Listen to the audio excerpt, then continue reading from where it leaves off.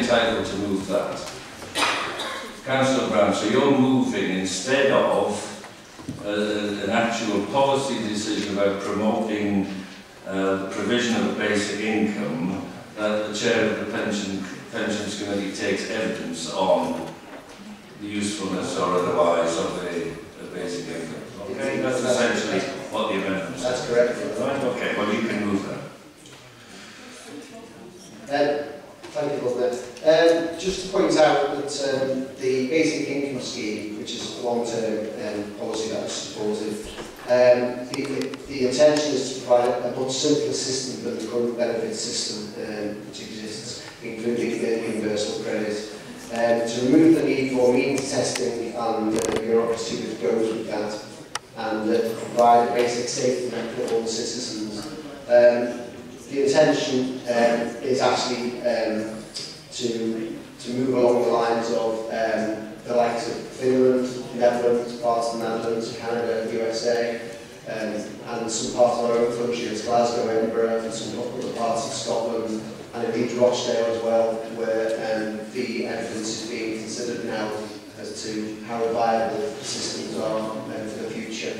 Um, I think our own Works and Pensions Committee should look at that in greater detail than has been the case so far. It's a fast-moving system. I think we should take that on board and investigate it properly. Thank you. Can I just check one further thing, that that's, that amendment is seconded. It is seconded. Do you wish to speak on to that or go now if you seconded? Thank you. Just to say that I think the, the original motion just illustrates the utter chaos that's been created by the, the, the introduction of universal credit. Not just for the people who are receiving this benefit, but the people who are supposed to be delivering it. The fact they haven't been given adequate information to deliver the system in the first place. But the goalposts seem to be constantly moving, that it needs a radical overhaul. I, I suggested to Jane ahead of the meeting that we scrap this and just say, scrap this system, redevise it, it's rubbish, but that's obviously too simple for the government to understand. So we'll be accepting the amendment and the, we'll be accepting the original motion and the addendum, and we really appreciate it if you could accept our amendment alongside that. Thank you.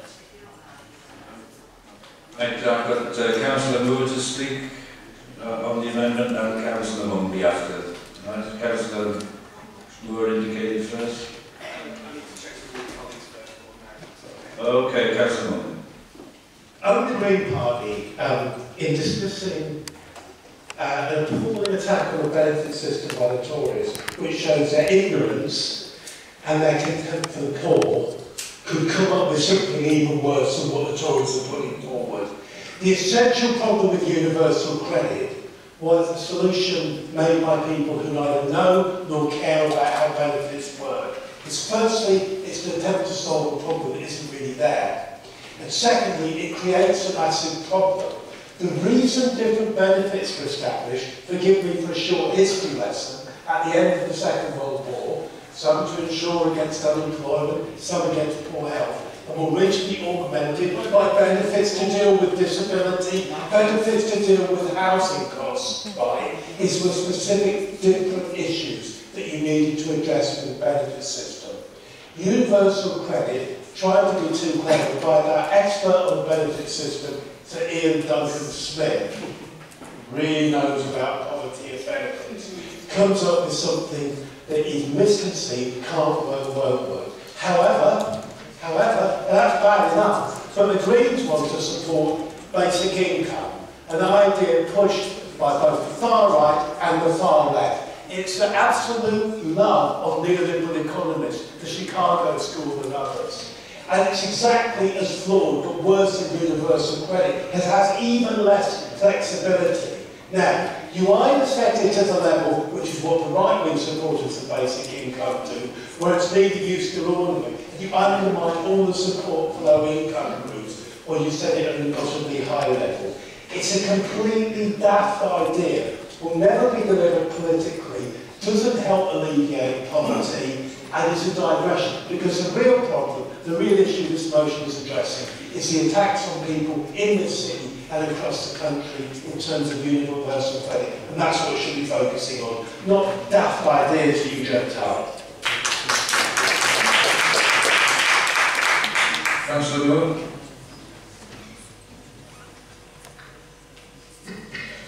Um, Lord Mayor, I'm going to be uh, honest with the, the Greens on this. Um, I actually think there are some things to uh, commend basic income, and there are some people whose views I respect are very much in favour, and they've made me think carefully about the issue and about the debate.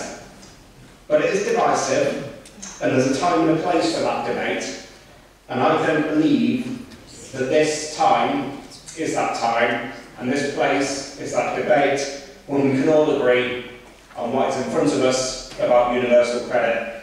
Let us unite around that motion, let's take that motion forward, let's be clear in our attacks on government and leave discussions about bits of our party political manifestos that we like and want discussed to another place, not now, when we need to be united against this government and the disgrace that is their application of universal credit.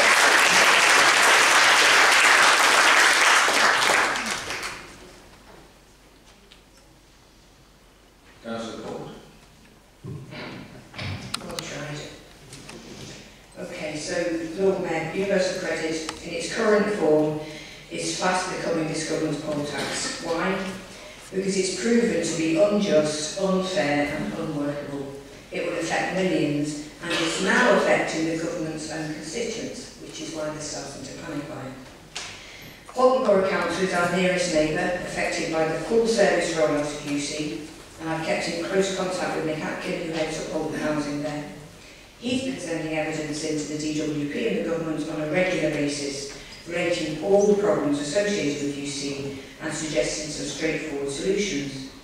The National CAB have given the government evidence, both qualitative and quantitative. I've given both oral and written evidence on behalf of the Liverpool citizens, our own people, to the government's Work and Pensions Committee, chaired by Frank Field. I've given the government by a copy of our Welfare Reform Cumulative Impact Assessment, the only one in the country. We as a council have written to the government ministers warning them about the impact of their welfare reforms on four separate occasions from this council, and if agreed, this will be the fifth time. They can't say they weren't told and they weren't warned of the massive negative impact on UC, on our citizens, the citizens they are in power to serve, not to discriminate against and not to harm. And the DWP have been carrying out what they call a test and learn rollout. A test and learn, more like test, ignore and carry on regardless. How ignorant and how dangerous is that? Here in Liverpool, we already have 11,000 of our citizens on UC, with 3,000 of them in work. By the end of the full service rollout, we will have between 50 and 60,000 households on universal credit. Approximately that, well, the DWP can't even give us the numbers, so we've estimated them ourselves. So why is this motion so long, and why are we accepting the addendum? Thank you, Councillor Sullivan. Because this isn't just about the six-week deliberate built-in delay in payment. Nor is this just about the lack of free phone numbers for all the DWP contacts, not just some. It's about the fact that the government have now taken out in spades the original levels of funding meant for UC, making people much, much worse under the new system, both for those in work and those out of work, both for those without children and those with children, and for those who are disabled.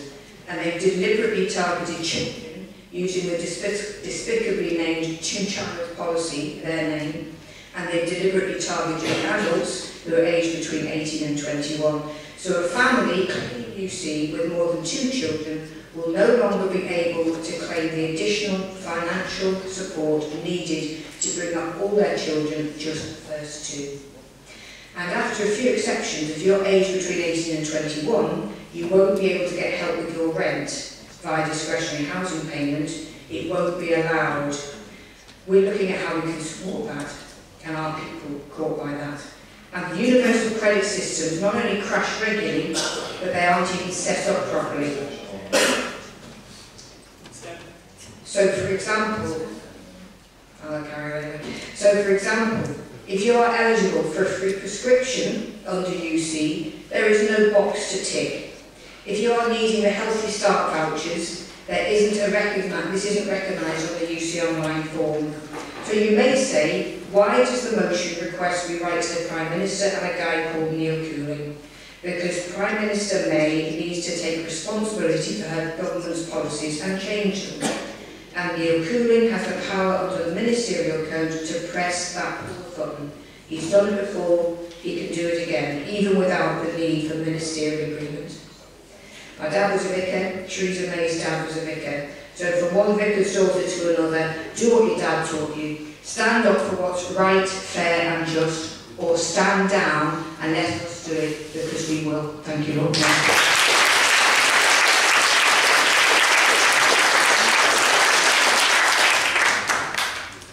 Councillor Tickle, do you waive your right to reply or you, you wish to take it? My right to reply, Lord Mayor, okay, will be just with respect to the amendments. Uh, we won't be accepting the amendments, we will not be accepting the amendments, which has been pointed out even to different discussions. Thank you. Lord Mayor, Lord Mayor, we need to go to a vote on that amendment. Yes, of course we've got to vote again.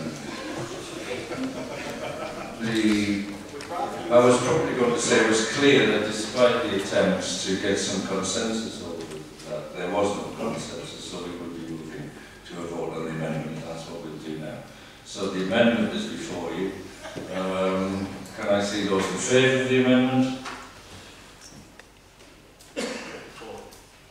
Can I see those against the amendment?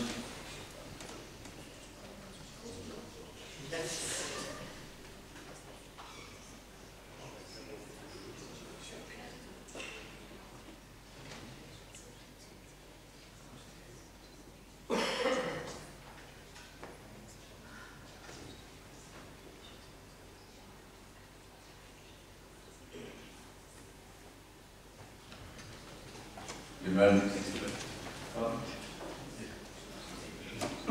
the amendment is clearly defeated.